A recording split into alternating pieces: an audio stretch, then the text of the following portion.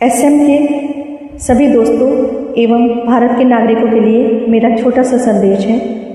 वर्तमान में कोविड 19 की दूसरी वेव अत्यंत भयानक रूप में वापस आई है। इससे बचने का बेहतर तरीका है।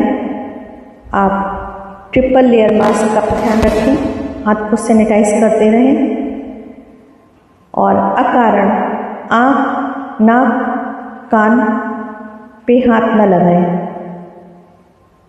इसके अलावा डिस्टेंस के नियमों का पालन करें ये तीन बेहतर तरीके कोरोना से बचाव में मदद करेंगे। सरकार ने वैक्सीनेशन का काम किया।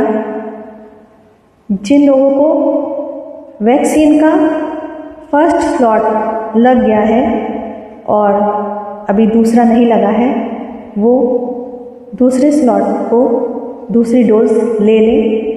और वैक्सीनेशन के दो स्लॉट जिनको लग चुके हैं, उनको यदि करोना हो भी रहा है तो उसका माइल्ड इफ़ेक्ट पड़ रहा है। तो किसी न किसी हद तक वैक्सीन कारगर है।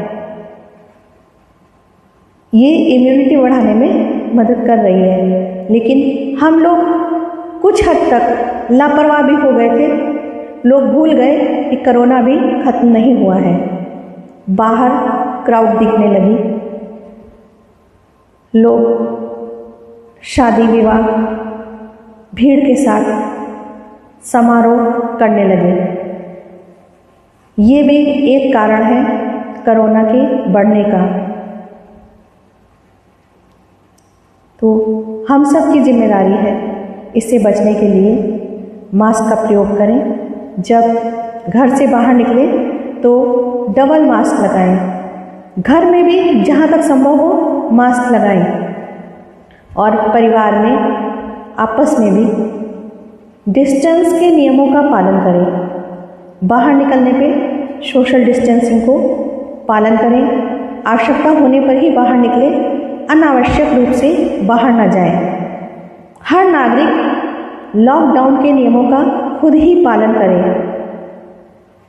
इस जंग को जीतने के लिए हमें सभी नागरिकों की ज़िम्मेदारी है कि वो जो भी गाइडलाइन सरकार द्वारा दी जा रही है, उसको पालन करें। जो भी चीज़ें बचाव के रास्ते बताए जा रहे हैं, उनको पालन करें। हम इस जंग को ज़रूर जीतेंगे। लापरवाही ना करें। स्वयं को सुरक्षित रखें। जय हिंद।